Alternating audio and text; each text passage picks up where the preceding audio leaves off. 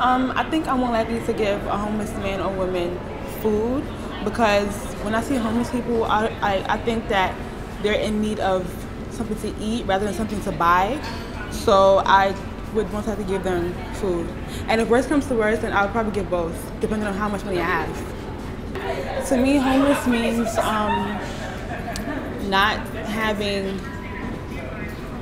shelter to live in, not having proper care or well, you can be homeless and have shelter, but not having a home, not having money, not having a job, um, and not being able to provide for yourself. And do you feel remorse for homeless people?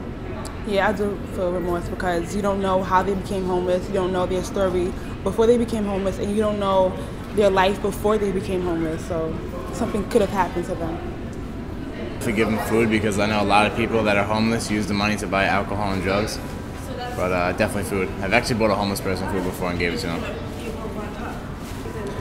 My initial thought when I see a homeless person on the street is probably that they were either laid off or um, didn't have go to higher education, so they couldn't find a job. That's why they're uh, homeless. Yes, I do feel remorse. Um, partly because a lot of stuff that happens to them, to people that you can't control. Meaning, if you get laid off from your job, you, you physically can't control that. Um, I don't feel bad to a point also because a lot of people or some people who are homeless don't choose it, but they, they're not taking initiative to actually go get a job and make money. So it's yes and no.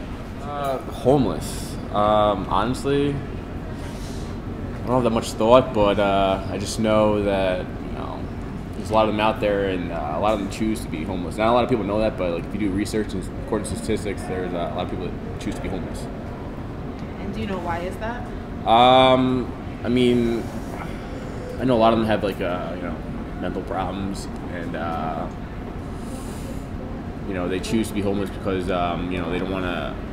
They feel like they're more free as opposed to going to an everyday job and bringing home a check and you know the stress of life itself. I guess.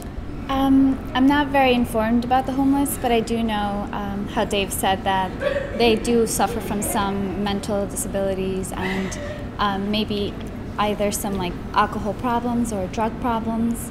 And um, I would probably try to put myself in their shoes and think of it as, you know, being part of like a society that's very oppressive, especially to people who maybe do not fit the norm. So I think it's a very difficult situation to be in. Food. If I had, you know, I'd probably say food because uh, money, you never know what they can do. They can buy drugs, do whatever. I'm sure none of them would want to, you know, invest that money and try to get, you know, get themselves off the street. Um, but I do say that I don't necessarily think that it's every single homeless person's, um, you know, fault that they're in that situation. I am very understanding of the conditions. Like the economy has been very difficult on a lot of people, and I think that that probably contributes to a lot of um, the homelessness that is out there. So I, I can't say that you know I wouldn't feel bad for someone that's in that situation. Honestly, just just keep walking. Honestly, I don't, I don't feel sorry or, or sorry or anything like that. Just pay no mind. I'm a softie. I feel bad. I feel bad, and I feel that like if I do have like anything with me, I usually like eat very healthy, so I have like fruit or anything. So I'd be like willing to you know like you know give that up or anything. Um, but I do feel bad because I know that I would not want to be in that situation, and you know it's it's heartbreaking.